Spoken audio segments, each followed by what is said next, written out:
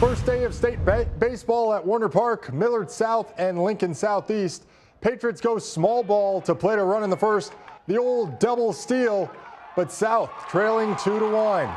Next inning, Braden Smith with warning track power, deep enough for an RBI double.